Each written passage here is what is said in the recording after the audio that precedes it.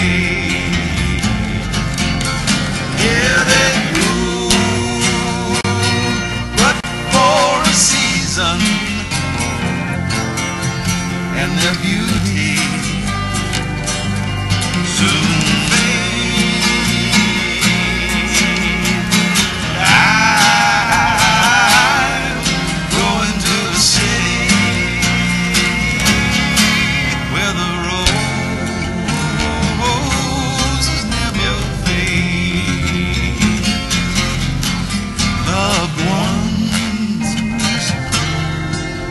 long to be with Jesus.